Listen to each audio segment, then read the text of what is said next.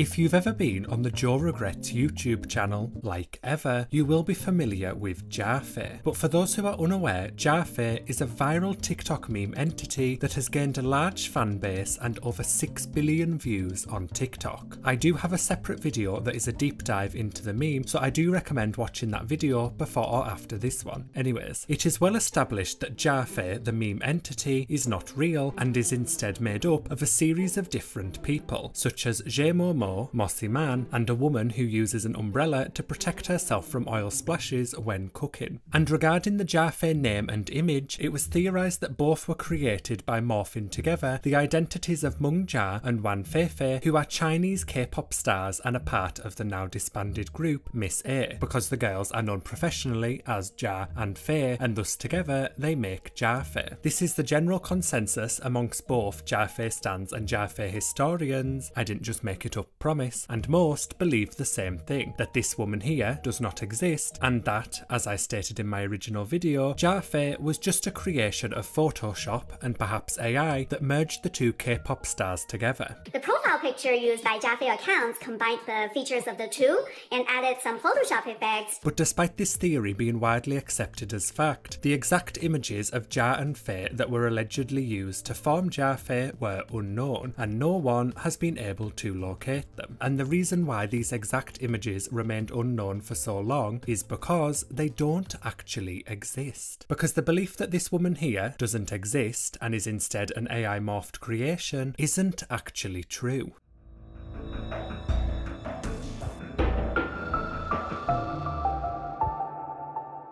On the 23rd of October 2023, the user Ranvision Official on TikTok, who is famous for their Jiafei remixes and whom you may recognise as one of the main masterminds behind the cupcake remix trend, posted a TikTok that has quite literally changed the course of Jiafei history forever.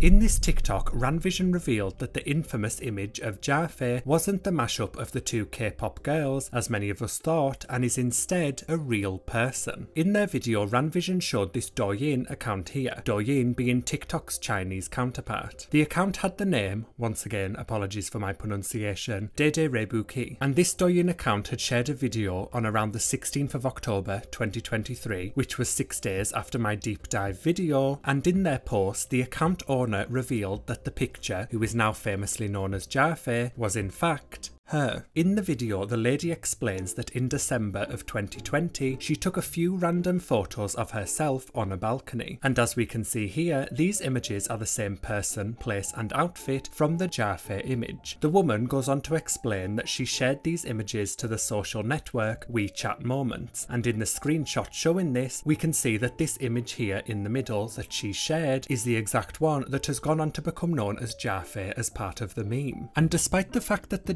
Jiafei meme became viral in late 2021, early 2022, it wasn't actually until June of 2023 when the woman in the picture became aware of the meme. She became aware that she was being used as the face of Jiafei after a friend reached out to her and commented on the similarities between her and Jiafei, to which the woman replied that the picture was actually her and she was confused as to who had stolen her picture and given her a new name, because she's not called Jiafei. So technically, Jiafei still doesn't exist, but the woman in the image does. In the Douyin video, she goes on to show all the different aspects of the meme that involve her face, like Jiafei's music career, the Roblox games, and even showed videos of people handing out pictures of her on the street. She also pointed out that a 32 minute YouTube video had been made which researched whether or not she was real, which upon reflection, whoever was sad enough to make a video that long has far too much time on their hands and clearly didn't do a very good job with their research. But anyways, from this video shared on Douyin revealing the woman's true identity, we can deduce the timeline of how this image came to be the Jiafei meme. The lady posted the images of herself to social media in December of 2020. Then some sort of bot operation must have stolen this image alongside images of many other Asian women and then in early 2021 bot accounts on TikTok began to pop up using her image as a profile picture and would then mask like people's TikTok comments. Accounts. And as many of these bot accounts had the username Jiafei and were liking people's comments on the app, they became well known on TikTok and thus Jiafei, the meme, was birthed, as memers began impersonating the bot accounts and creating fictional lore for the entity. For the full timeline and breakdown of the Jiafei meme, check out my deep dive on the topic, which I'll link in the description. Ranvision's video revealing that Jiafei was not as we had previously thought, a Miss AI morphed creation, this is a brief pause for you to appreciate that pun, and that the Jiafei picture is in fact a real person, has gained, at the time of recording, over 190,000 views. But I am sure by the time this video is posted, Ranvision's TikTok will have a lot more, as people are, rightly so, shocked to discover that a woman who they were shocked to discover didn't actually exist, does in fact actually exist after all. And although in my opinion this lady's story does appear to be incredibly convincing, given that she has additional similar images with the outfit and location, and even has screenshots of her posting the Jiafei pic to social media, some people still remain unconvinced and claim that the pic is AI or morphed from the Miss A girls. No, it can't be, they look too different. I still believe it's the K-pop idols Mungja and Wan Feifei's faces combined. This is a lie. Also, some people say that the woman in the pictures is wearing beauty filters, which could have contributed to the original Miss A slash AI theories, as the images appear to have been edited in some way. But to be fair, beauty filters are extremely common on Douyin, so I don't think the fact that the woman is wearing beauty filters indicates that the morphed AI theories are true. However, they could potentially be responsible for the almost uncanny valley aesthetic that the picture has. But now, with it being discovered that the Jiafei picture that has been shared around the world and even printed onto shower curtains is allegedly a real woman rather than two famous people morphed, it raises questions about the ethical nature of the meme. Imagine people using your pic to create memes without your consent. Wild. Imagine you live your whole life and one day you find out that you've been a TikTok icon for two years overseas. And so, with the real lady behind the now notorious Jiafei selfie coming forward and revealing the true origins of the Jiafei image and correcting any accusations of being a Jia and Fei mashup slash AI, I get the feeling that, unfortunately for this woman, a new wave of Jiafei memes will soon be on the way and that FlopTok may have a new resident moving into Flop Tropica, Which reminds me, please do not harass this woman or her account and please treat her kindly and with respect. Below I'm going to leave all the links to Ranvision's YouTube and TikTok pages, so be sure to check them out and support them for uncovering the truth about the archaeological relic that is the Jiafei image, Lara Croft Who. And I also want to apologise for my previous claims in the deep dive video regarding the origins of the image, and I hope that I haven't offended anyone, particularly the real lady behind the image and Jia and Fei from Miss A. Thanks for watching. If you enjoyed this correction video, be sure to like and subscribe for more videos, hopefully not corrections, like this one in the future.